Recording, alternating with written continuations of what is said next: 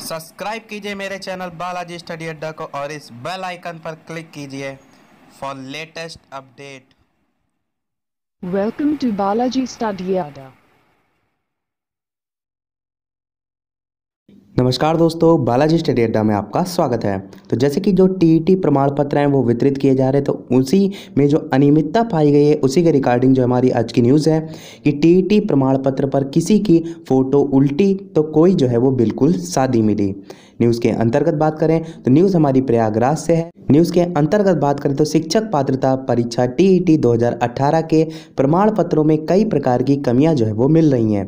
किसी अभ्यर्थी के प्रमाण पत्र पर उसकी जो फ़ोटो है, वो उल्टी छपी है तो किसी का प्रमाण पत्र जो है, वो पूरा सादा है।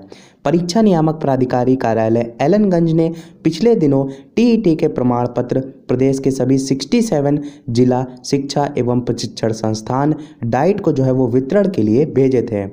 प्रयागराज में 17 जून से प्रमाण पत्र बांटे जा रहे हैं। एक प्रमाण पत्र पूरा सादा मिला तो प्राचार्य पी एन श्रीवास्तव ने जो है वो निरस्त कर वापस भेज दिया। एससी वर्ग के अभ्यर्थी अशोक कुमार के प्रमाण पत्र पर उसकी फ़ोटो, नाम, पिता व माता का नाम आदि जो है वो उल्टा छपा है।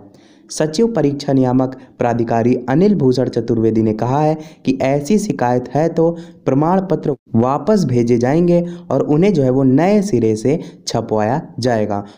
तो जिन भी छात्रों के साथ जो है ऐसी दिक्कतें आ रही हैं, वो बिल्कुल भी परेशान जो है वो ना हो, क्योंकि साफ़ साफ़ यहाँ पर कहा गया है कि प्रमाण पत्र वापस भेजे जाएँगे और जो है वो नए सिरे से छपवाए जाएँगे। तो आज की न्यूज़ में इतना ही। अगर हमारा प्रयास आपको पसंद आया तो वीडियो को लाइक करें, शेयर करें और हमारे चैनल को सब्सक्राइब करें। तो मिलते हैं अगले वीडियो में। तब तक के लिए नमस्कार। Thank you for watching.